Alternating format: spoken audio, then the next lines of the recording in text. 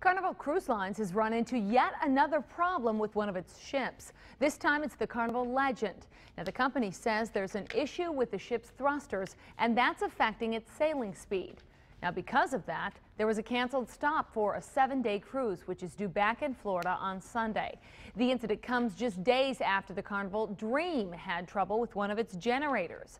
That ship remains docked at St. Martin with some of the passengers still on board. They're waiting to be flown home tonight.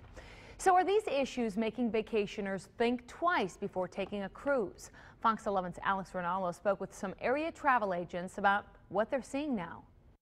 At Ambassador Travel in Oshkosh, cruises are becoming increasingly popular.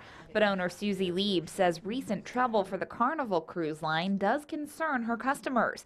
She says first time cruisers, especially, will call her about it. Now they have questions or concerns about is this really for me or should I really take a cruise? Is it safe?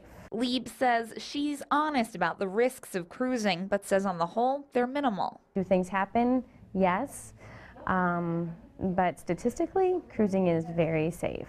According to Lieb, people rarely end up canceling or changing their plans. Stephen Yankee owns Blue Avenue Travel in Appleton. He agrees with Lieb, saying accidents are as likely to happen on a resort as they are on a ship. You look at the number of cruise passengers, which is 25 million in a year, the percentage that it affects is very, small.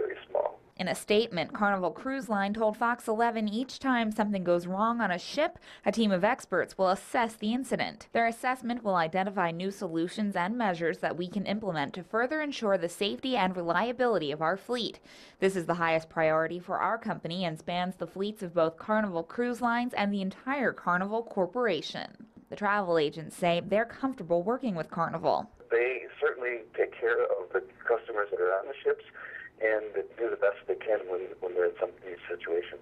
Lieb says if you do book a cruise, there are some things to be aware of. Just be sure to get travel insurance and always bring your passport. If something would have to happen, if they need to fly back to the U.S., a valid passport is very helpful. In Oshkosh, Alex Rinaldo, Fox 11 News. And according to Lieb, some customers worry about getting the norovirus or food poisoning while they're on the cruise ships. Now, she says you hear a lot about that because cruise lines are required to report norovirus while resorts on the land are not.